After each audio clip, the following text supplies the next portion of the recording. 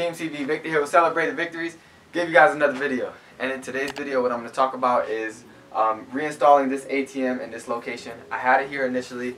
COVID happened, business shut down, took the ATM out. When they opened it right back up, I ended up putting an ATM back here. I had to take that one out for reasons I'll discuss later in this video. So stay tuned and keep watching.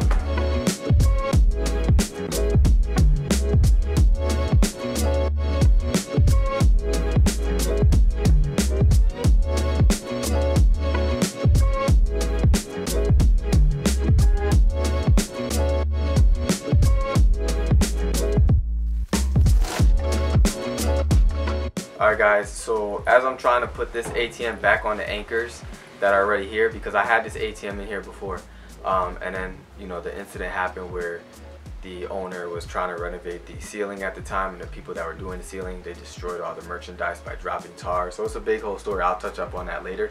Um, so I ended up removing the ATM during that time um, and just putting it in a new location that I actually found. So now the intent was to bring this ATM back and put it over the anchors that I already had in place um, but unfortunately, as I'm trying to do that, and for me, when I do this process, um, when I'm anchoring the or drilling the holes, I like to do it deep just in case if I do have to remove an ATM, all I got to do is kind of hammer it in and it'll flush into the floor. It just makes it a lot easier and cleaner when you're removing an ATM. So I didn't anticipate that I was to be moving the ATM, so now that I'm trying to put it back on the old anchors, unfortunately I can't do that because now they're getting flushed into the ground because of the weight of the ATM. So I'm just to have to have I'm just to have to put new anchors in next to it and then put the ATM in with new anchors. So that's all. So this has this rug material. So with this rug material, it's a little bit challenging trying to, you know, identify where I'm to bolt down the ATM or where I'm to put the holes in. So what I'm trying to do is just kind of rip some of it out on the holes where I'm going to put the anchors at. Um, and then at that point I'll be able to kind of um, drill the holes a lot easier and match with the measurements that are needed.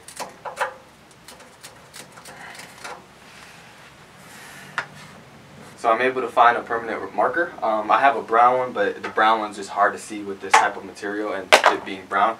So with the black one, what I'm going to do is just kind of paint on the rug itself and identify where I'm going to um, drill my holes. Makes it a lot easier. So make sure you guys have a black permanent marker when you're doing this. And I'm going to make this black line here just as a reference point so that way when I'm lining it back up it's a lot easier to line back up.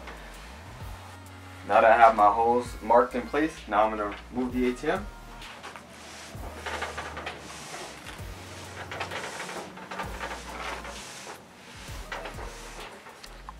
And I can see my holes where I'm gonna actually drill. Get my drill.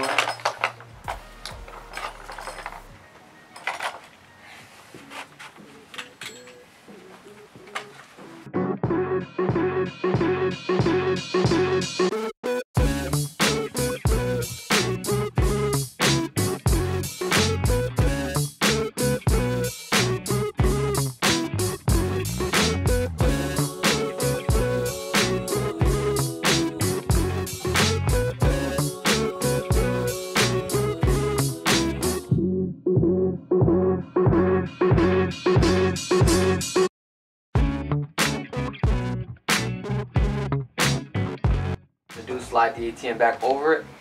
Use my reference points to try to get the ATM exactly over the holes as best I can. And at that point, we'll plug the anchors in.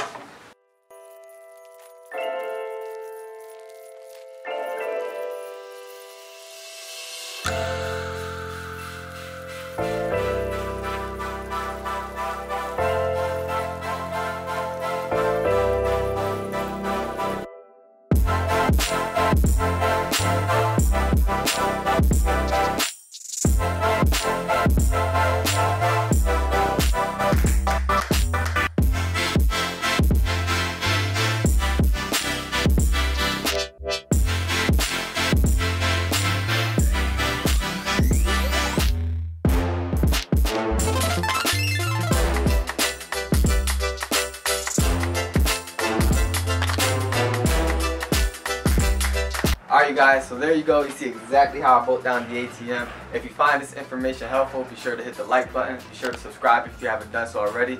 Be sure to look out for the next video. Stay up, stay blessed, and much love. Talk to you guys later.